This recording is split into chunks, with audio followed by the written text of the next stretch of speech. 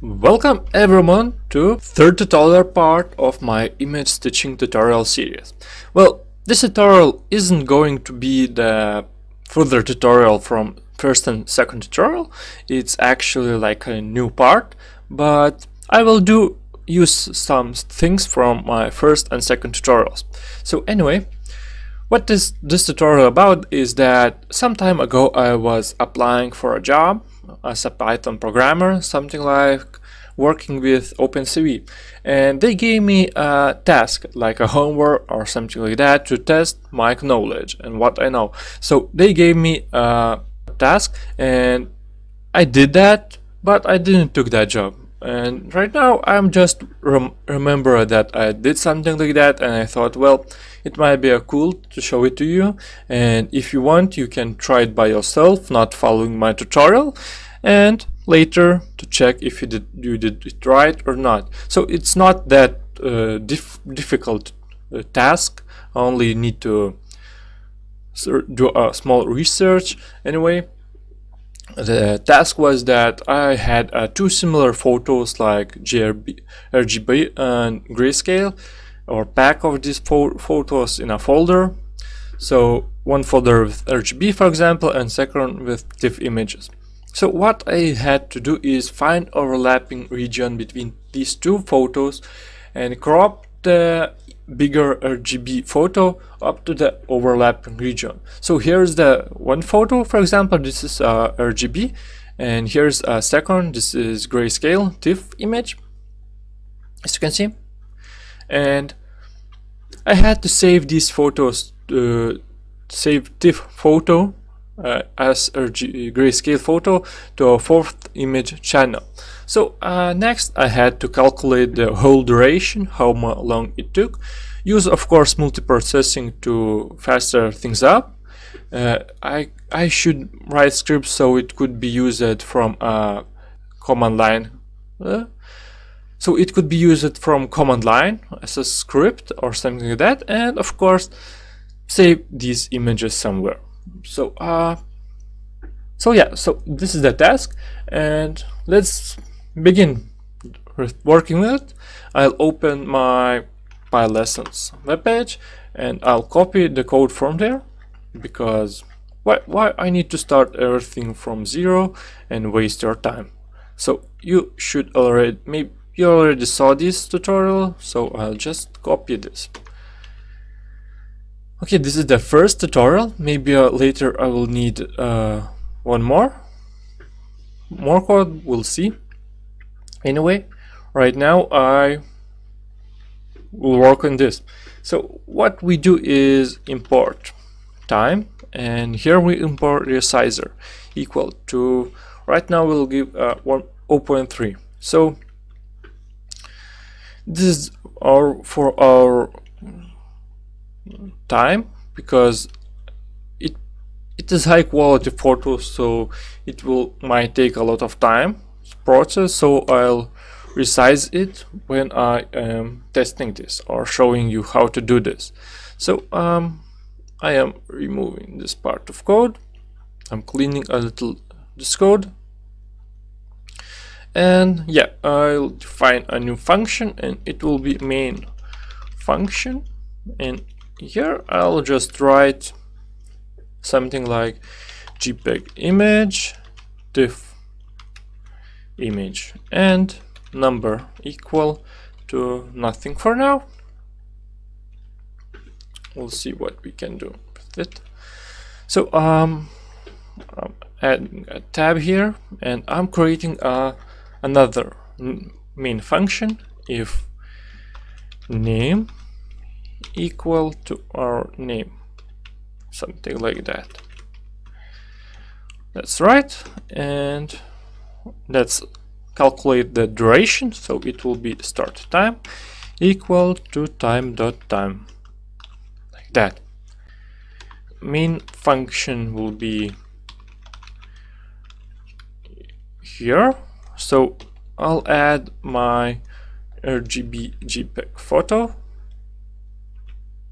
and second will be near the photo. Like that. And now just print our duration.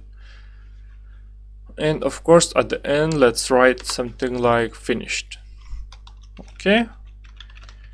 And here I time I took time took will be something how long I, I was doing this thing. And let's minus our start time. Like that. If everything is fine now it, sh it should work at least in some kind of level.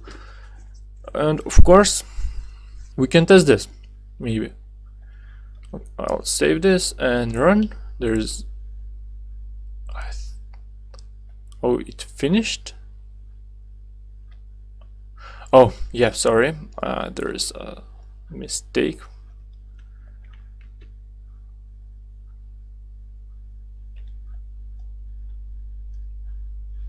Like that? Okay. And here is the matches. I need to write 5 and let's see still no? What is the reason? Start time? It oh it didn't start here maybe. If name? Yeah I, I hate I made here a mistake sorry. So now it should work. As you can see it finds a matches between th these two photos everything is fine here. And now I need to crop this. Of course it took uh, not so long almost one second. But you'll see I'll, I'll show you with ori original photo size how long it takes. So what I need to do is here I need to open my another tutorial and I need just one line. This one. Warp image. So I won't waste your time of writing it from zero. Warped image equals to 2 warp perspective. And here will be our matches. Something like that. But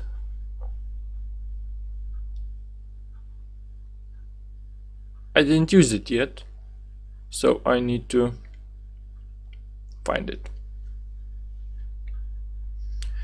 So I'll copy on this line. I think so I'll use it somewhere here. And of course I'm not uh, saying anything as before you already if you don't know anything you can go to that my tutorial and read it or watch my video and so on and you'll learn what I'm doing here. So anyway what I'm doing next I have all the matches here for example and what I need to do is warp the perspective. So I'm doing like that and now I'll save it as RGBA image. Now we have warped image but this is an in simple RGB format. So right now I need to save it as RGBA. With four layers. Image equal to cv2 dot cvt color. And here is simply warped image. And cv2 dot color rgb to rgba yeah it should be fine here. And now I'm just taking the im sorry. I'm just taking image last uh, channel. And I will add something to that channel.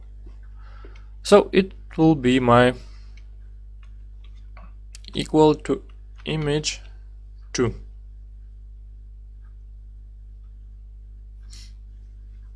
yeah so this is my uh, RGBA image with RGB image in and with nothing in his alpha last channel. So I'm just putting my RGB image into that channel so next is CV2 image right.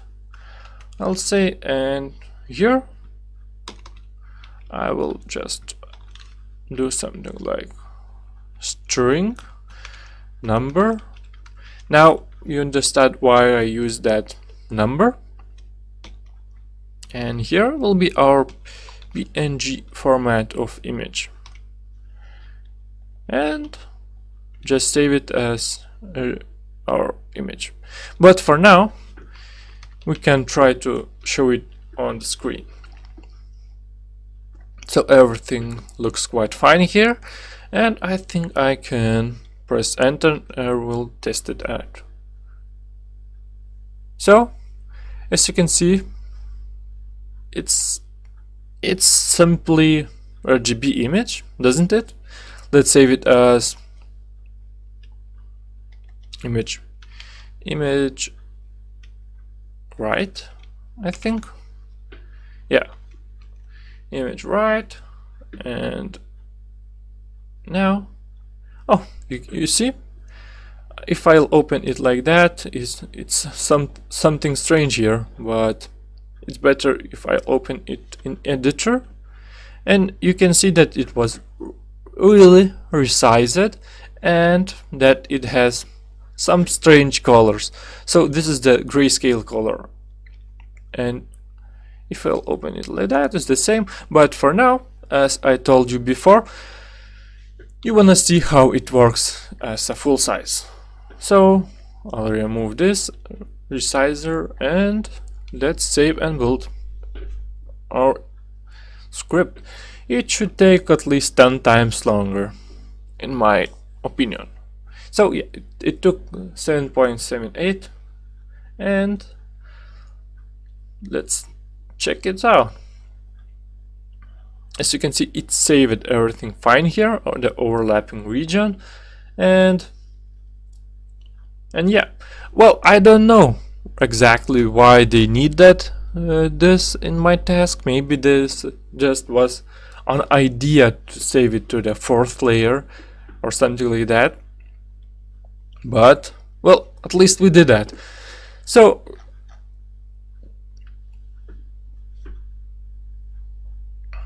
so we did uh, these four these steps and right now is going to be more complicated stuff coming up and I have to do this with multiprocessing and that I could save these images I mean read these images from a folder and so on. Well I need to do a lot of still stuff here.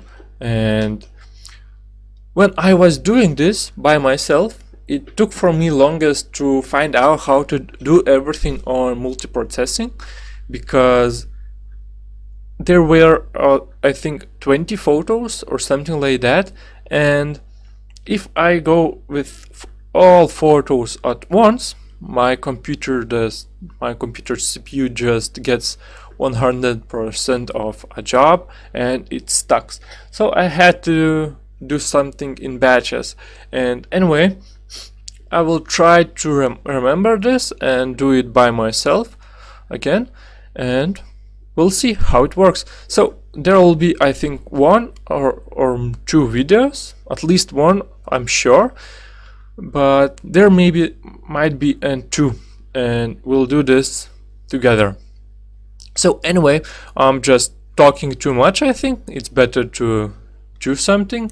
And I continue I will continue this on the next video. And I think that it's enough for this tutorial short tutorial. And I hope you will try it by yourself without looking at the code. And maybe you'll solve this. And I hope this video was useful for you. Thank you all for watching. Good luck and see you in a next tutorial. Of course, I if you like my video, you can like and subscribe my channel. Thank you all for watching. Goodbye.